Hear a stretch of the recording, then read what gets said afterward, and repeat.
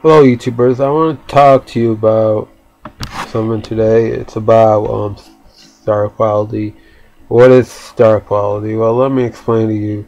It's only a small, there are ma many artists, singers, um, rappers, um, producers that are really talented.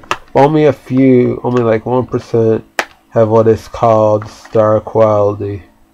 For example, I could listen to a rapper with some great um, lyrical techniques, wordplay, everything, great concept.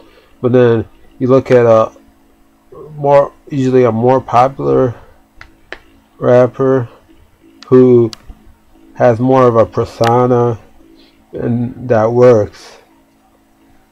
And that's part of star quality when you have something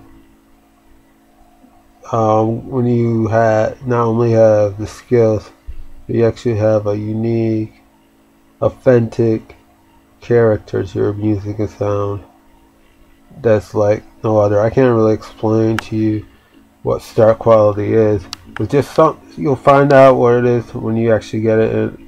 Only a small percentage of artists actually achieve that star quality.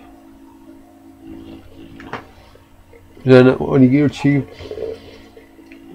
we have a star quality it's just natural. It's has a lot more to do with your personality and how um how um